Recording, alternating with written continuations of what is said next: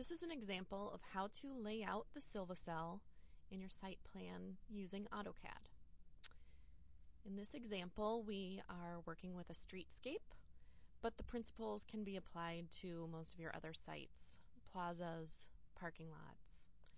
We really um, can use the Silva Cells in most paved situations other than in heavy traffic drive lanes. So our site plan is already basically set up, but if you're starting from scratch, you need to include any of the infrastructure that might be impacted by the Silva Cells.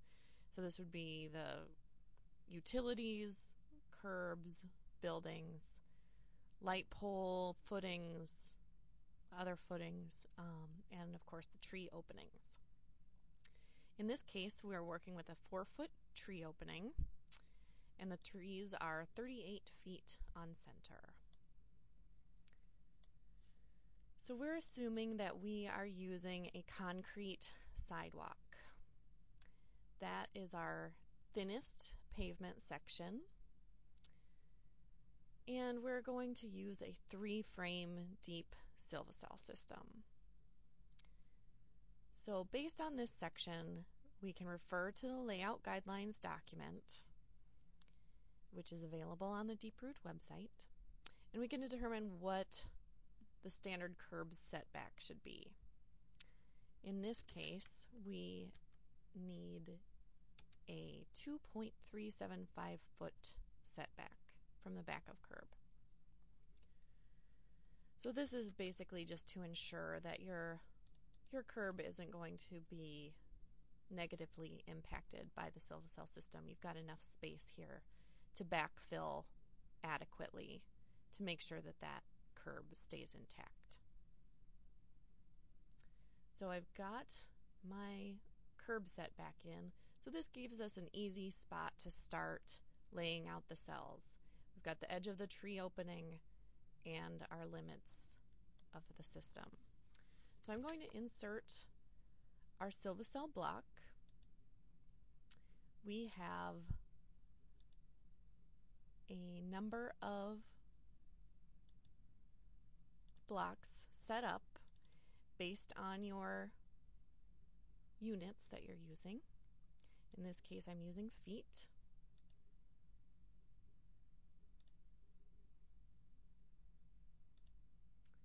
So this is our Silva Cell block.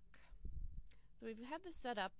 So this is, it should come into scale if, if the units are working correctly together.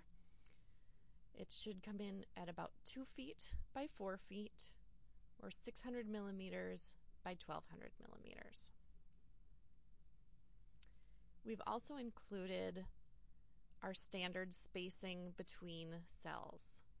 In this case, we're showing a 1 inch and a 3 inch, which is our standard spacing between the cells, and they can really work anywhere within that range 1 inch or 25 millimeters to 3 inches or 75 millimeters. We've also included the 1.5 inch line to use it as an example. Um, we that's an easy construction line um, because you can use a 2 by 4 on its edge as an easy spacer. So I can see that I'm already going to need to shift this back in order to meet our curb setback. So I'm going to assume this is a concrete curb that's around the tree opening. So I want to make sure that the Silva Cell is beneath that curb to adequately support it. So I'm going to copy a few Silva Cells here. I'm going to connect up the two closest trees. We like to provide a shared soil volume if at all possible. Um, so you're really maximizing the use of the system because two trees can benefit from one group. But there, there are a lot of different options when you actually go to lay it out. So that one worked out pretty well. Um, I was just laying that out as an example because sometimes we'll need to shift the overall group spacing. Here I use the one and a half inch spacing. Um, sometimes that will need to shift in order to get back over and support this curb. But we're pretty close here, so I'm just going to shift a few of these up to the three inch spacing. And really a lot of this gets adjusted in the field.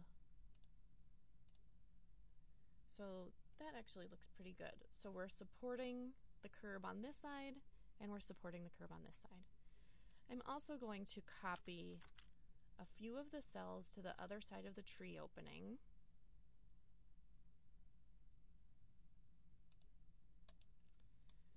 So that we're providing rooting on each side. We want that to kind of be balanced out a little bit. And then we need to support the tree on this side as well. Or not really support the tree, support the curb. So I'm going to copy a cell over here and rotate this 90 degrees. The Silva-cells are typically used parallel or perpendicular to each other. Um, as long as you're maintaining your one to three inch spacing, um, it's not it's not critical that it be an even one inch all the way across. Um, if you're working on a curve, sometimes you'll need to skew that line a little bit um, and kind of flare out the spacing. Um, so we're too close on this end because this is our one inch spacer. So I'm actually just going to shift over this group slightly. So that we have our one inch spacing. So we have a one inch spacing here, one inch spacing here, and we're still supporting the curbs on this side. I better copy another one down to the other tree.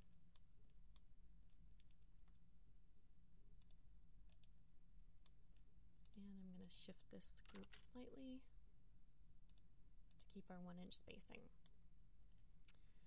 So I'm also going to depending on your soil volume goals, um, you're going to have a certain number of soil cells to meet those soil volumes.